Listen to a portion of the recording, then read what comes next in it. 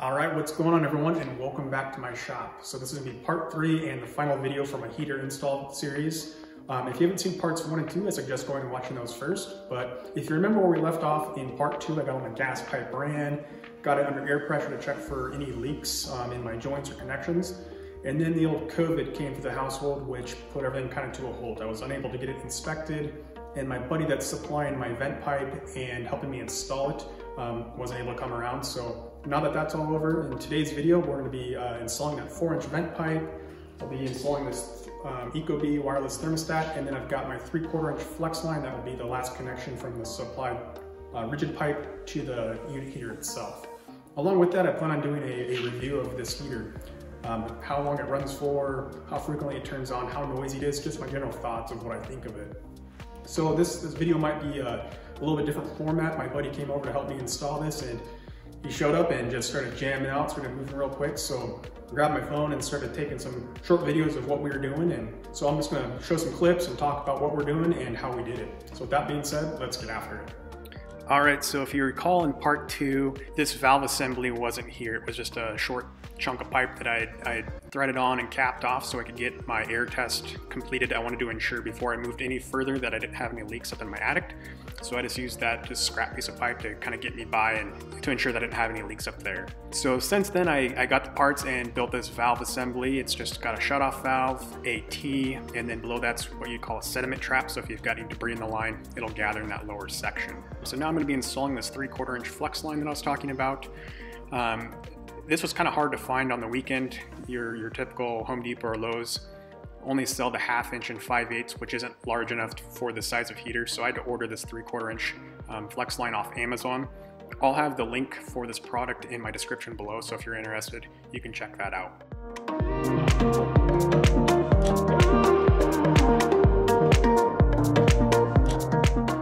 So the next morning, my buddy showed up with the parts. Um, since I don't have a gas license, I wasn't able to buy this uh, category three vent pipe. So he picked it up for me and brought it over and then helped me install it.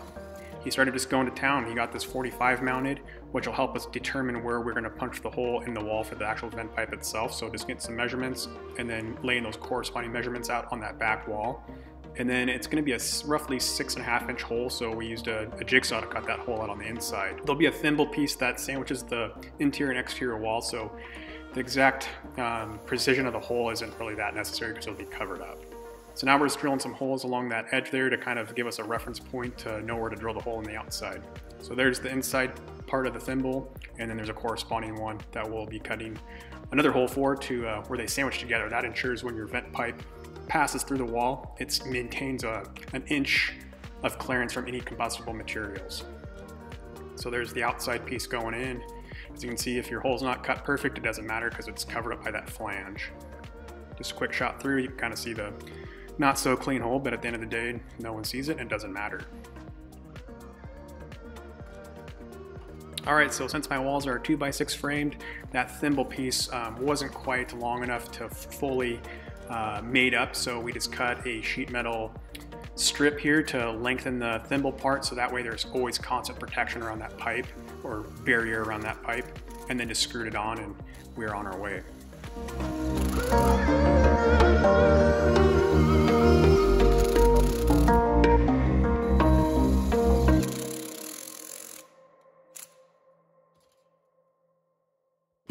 Now that we've got our little extension piece cut and secured to the thimble, we can just mount the thimble pieces to the wall. So it's secured with some screws and the inside here, and then here's the outside, just doing the same thing, screw it to the wall. And actually he made a nice little cover to kind of make it look a little cleaner on the outside, which you'll see here in a little bit. So yeah, so this is the little um, cover piece that he made, just pounded a hole through that center, just hand cut um, the inside portion out and then he'll go around and cut the outside.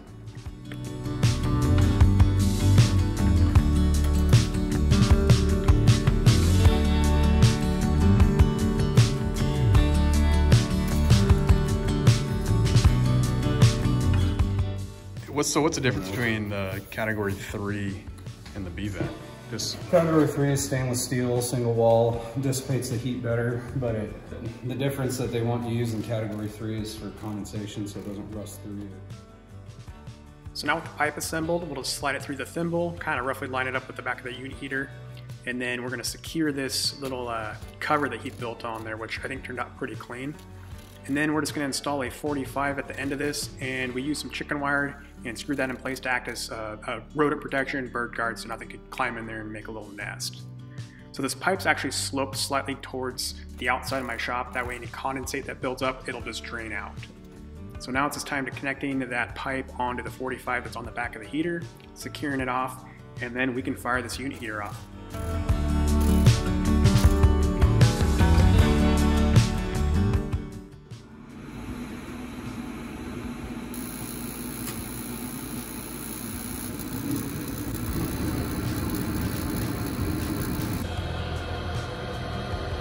All right, so that heater fired off perfect, no issues um, with anything.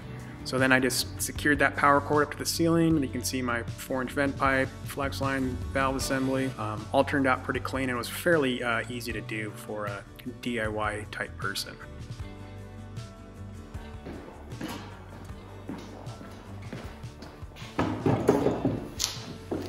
All right, so that install is complete. Um, I passed both my inspections. I had the inspector come out and do that air leak test that I was talking about. No issues there. And then he came out today actually and did the final inspection on it and there were no corrections that needed to be made. Everything was good to go, which I was pretty uh, happy about that. Um, overall difficulty for the install, if you're a typical DIY type person, I feel like this is a, a pretty achievable thing to do if you've got some basic tools and some knowledge. Um, there was a couple spots that were a pain in the butt, running that pipe up in the attic and making those connections were just, uh, just not very fun, um, but it's definitely doable. One spot that I didn't show was actually me connecting it to my house. I did that myself um, with the guidance of some professional advice. So I didn't film that because I don't do this for a living and I don't feel comfortable showing you how I did it.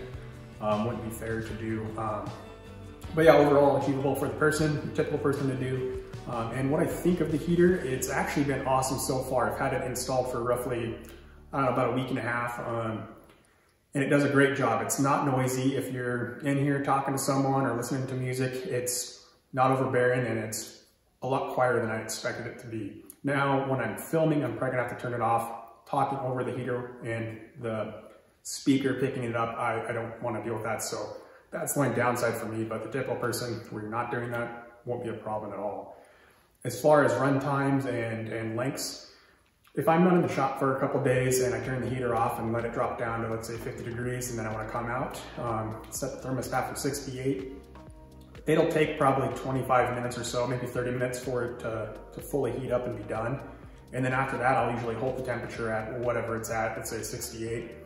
It'll drop down to 67 and then it'll run for, I don't know, probably four to five minutes to get it back up to temperature. And then it doesn't, it cycles on and off every 25 minutes or so. But that's kind of dependent on how well my shop or your shop's gonna be insulated. My shop's insulated very well, but I have a weak point being my main garage door. Um, it's not the best sealed door and it's not insulated. So I might correct that down, down the road, um, which would, I think, benefit that a lot. Um, so yeah, I'm overall impressed with this heater. Um, I'd recommend it for anyone looking to do a gas heater in their shop. And I wanna say thanks for watching and please hit that subscribe and like button and I will catch you on the next one.